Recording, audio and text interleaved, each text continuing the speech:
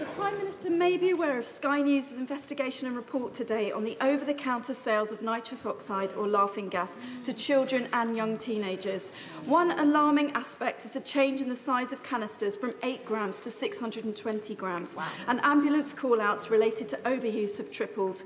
Instead of criminalising the young people who buy nitrous oxide, isn't it time to take urgent action against those knowingly selling this harmful and potentially life-changing substance to children underage? Yeah. I thank the Honourable Lady for her question. I share her concern and the concern of members across the House about nitrous oxide's detrimental impact on communities, its contribution to antisocial behaviour, and indeed I mentioned it in the speech I made at the beginning of this year specifically. The Advisory Council on the Misuse of Drugs is conducting a review of nitrous oxide and is looking particularly at this question. The Home Secretary has asked them to expedite their review and we will consider their advice carefully when it is received.